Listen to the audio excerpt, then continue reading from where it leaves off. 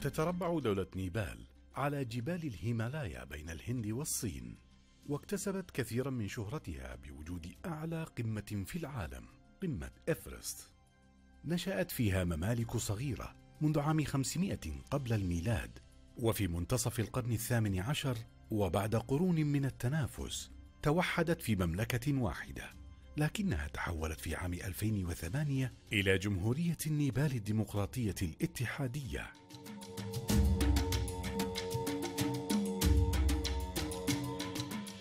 ينتمي شعبها إلى أصول عديدة يتحدثون أكثر من أربعين لغة وتعتبر عاصمتها كاتماندو من أقدم العواصم إذ تأسست في منتصف القرن الثامن الميلادي.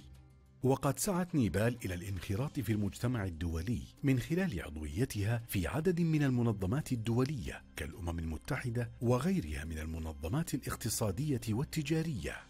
وتعتبر الآن وجهة سياحية عالمية مهمة.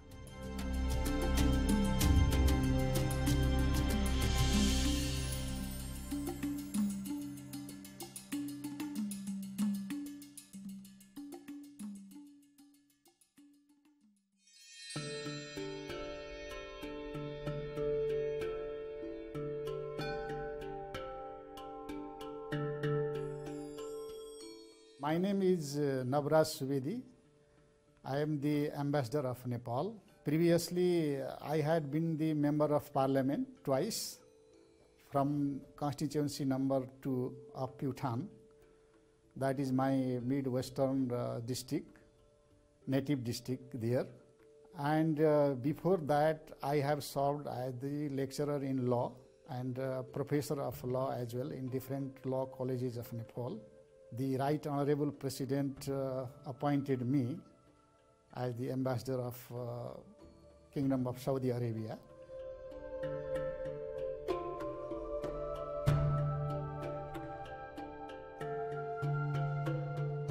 Saudi Arabia is one of the uh, important uh, country and uh, we know that Saudi Arabia has a major role to play in Gulf countries and uh, we know that uh, Saudi Arabia is a power as well in regards to the Gulf countries.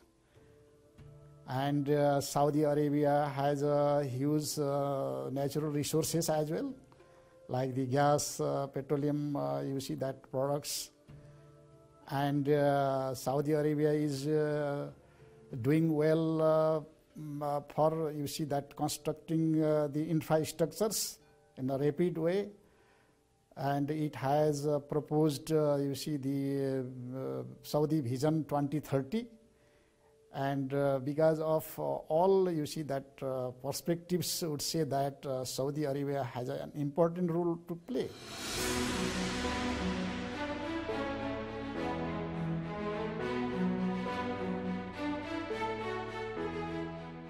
We have a large number of uh, nationals, Nepali nationals here it counts 400,000 and 400,000 Nepalese nationals are working here in Saudi Arabia and uh, it has uh, contributed uh, to strengthen and to promote the bilateral relation between Nepal and Saudi Arabia as well. They are working in different sectors. Some of them are teachers as well, some of them are doctors, uh, nurses as well. Some of them are supervisors in companies. But uh, uh, two part of them are uh, unskilled laborers. They are working.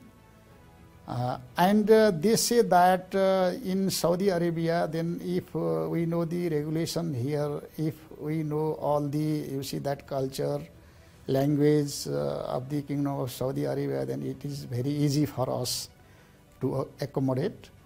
And uh, in the beginning, when they came here, then they faced the problem of uh, communication. The language problem would be there. However, uh, most of them say that it's okay. We are working here uh, despite uh, the climate is quite different in comparison to our country. Uh, then after uh, you see that staying some time, then we can adapt here. It's okay. I participated, uh, you see, the uh, Chamber of Commerce uh, uh, annual conference or meeting here. And before that, I participated in different national days of the different missions here. Uh, for example, uh, Czechoslovakia, Kazakhstan, Japan, uh, and the like other countries. شهدت العلاقات النيبالية السعودية تطورا مهما وهي في كل عام أيضا تشهد حدثا يزيدها قوة وتقاربا بين البلدين. ربما أتحدث عن الجانب السعودي في في عام 2015 عندما أصيبت نيبال بزلزال. كان هناك جسرا جويا سعوديا إغاثيا من الأدوية والغذاء والكساء إلى إلى دولة نيبال.